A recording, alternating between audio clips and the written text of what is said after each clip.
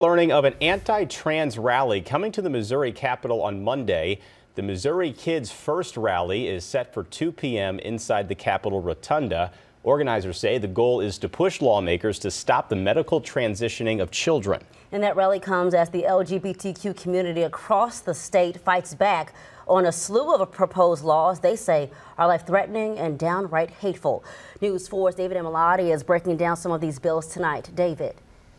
There are more than a few dozen bills between the State House and the Senate, and tonight we're hearing from two of the lawmakers pushing some of this legislation, and we're one person who fears what Missouri will be like if lawmakers get their way. I do think um, as bills pass and as threats continue, we will see a rise in hate crimes against LGBT people. Ryan Mars Kinghammer is watching and is concerned about the more than two dozen bills between the Missouri House and Senate looking to regulate a variety of LGBTQ plus issues. They are sponsored by these 20 Republican lawmakers. Several work to establish the Missouri's Children Deserve Help Not Harm Act. If passed, it'll ban healthcare professionals from performing gender transition procedures on children under 18. Branson area Representative Brad Hudson is behind one of those bills.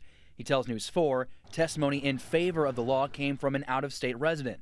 News 4 asked for an example of a Missourian concerned about this. He couldn't provide one. Are we going to wait until some Missouri kid comes out and says I had a double mastectomy as a teenager or I was put on uh, drugs that ruined or that, that, that altered my life forever that I should have never been put on.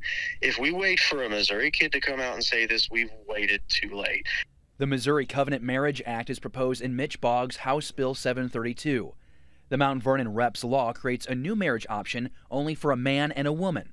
It requires eight hours of premarital counseling and 40 hours of marital counseling before a divorce.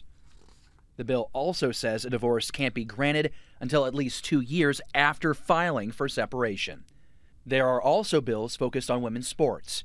House Bill 337 from Bennie Cook from the Lebanon area mandates the sport a person can play is mandated by their sex at birth. I do not feel like this uh, piece of legislation um, is anti-LGBTQ uh, plus. I don't believe that at all. It scares me about how uninformed these politicians actually are. Some bills target higher education. One would ban schools and colleges from requiring gender or sexual diversity training or counseling. David Amelotti, News 4.